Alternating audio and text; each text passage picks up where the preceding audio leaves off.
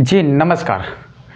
जिस तरह से बिहार में सियासी हलचल तेज है, उस हलचल के बीच हम आपको एक ब्रेकिंग न्यूज़ बता देते हैं। ब्रेकिंग न्यूज़ यह है कि रोज़ फ्लोर टेस्ट में सरकार गिर रही है, बहुत सारे चैनल पे अफवाह फैलाई जा रही। क्या है उसकी पूरी सच्चाई हम आपको बता देते हैं। है यानी 28 तारीख को तेजस्वी यादव ने कहा था कि खेला होगा। खेला होगा तो खेला में होगा तो क्या खेला होगा? तो आज आपको स्पष्ट रूप से देखने को मिल रहा है कि जदयू का आज मीटिंग रखा हुआ था, बैठक था, जिसकी अध्यक्षता नीतीश कुमार करने वाले थे। नीतीश कुमार ने अभी चुपके से गाड़ी से पीछे निकल गए हैं। ऐसा क्यों? उनकी नाराज़गी क्या थी? तो विधायक अबसेंट था। अबसेंट होने के कारण नीतीश कुमार ने अपनी नाराज़गी ज़ाहिर की और विजय चौधरी के घर के पिछले दरवाजे से अभी चले गए। अभी जाने के बाद आपको बता दें कि नीतीश कुमार के जो कुछ एमएलए है, जिनका नाम हम आपको बता देते हैं, उनका नाम है बीमा भारती, दिलीप राय और सुदर्शन।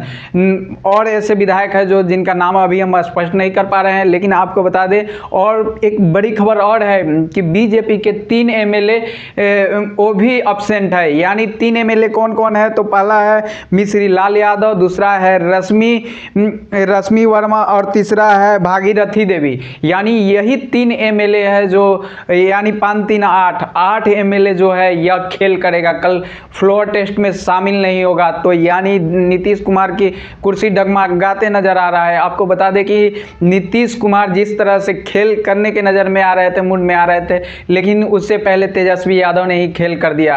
उसके बाद बता दें कि बीजेपी के कितने विधायक जो है वह फ्लोर टेस्ट में शामिल होंगे तो उनका तीन एम नहीं होंगे। यानी उनासी एम उन उनके पास। छिहत्तर एम अगर कल उसमें शामिल होते हैं तो समझिए कि सरकार गिर जाएगी। तब सरकार गिरने के बाद क्या होगा? तो सरकार जब गिर जाएगी, उसके बाद स्पीकर का पावर रहेगा। और स्पीकर का जब पावर रहेगा तो फिर राज्यपाल के या नीतीश कुमार उसको भंग भी करना चाहेंगे, भंग करेंगे। तो सबसे बड़ी पार्टी आरजेडी है, उसकी बुलाहट होगी। उसके बाद जो बुलाहट होगी तो बड़ी पार्टी के रूप में पेश करेंगे। तो देखना, बहुत कुछ अभी दिलचस्प है और बहुत कुछ अभी जानना है कि कल दस ग्यारह बजे आपको देखने को मिलेगा और क्या क्या है। लेकिन संघर्ष की कुर्सी है, क्या तेजस्वी यादव आसानी से हासिल कर लेंगे तो क्या ये भी देखना दिलचस्प होगा। और आपको बता दें कि यह आठ विधायक ही कल खेल कर सकता है। कुछ बहुत सारे सोशल मीडिया है जो चला रहे हैं, बहुत लाइव स्ट्रीम मीडिया है कि माझी जी ने खेल कर दिया। नहीं, माझी जी ने बिल्कुल इंटैक्ट है, वो जदयू को पूरा समर्थन अपना दे दिए हैं और एनडीए सरकार को समर्थन दे दिए हैं।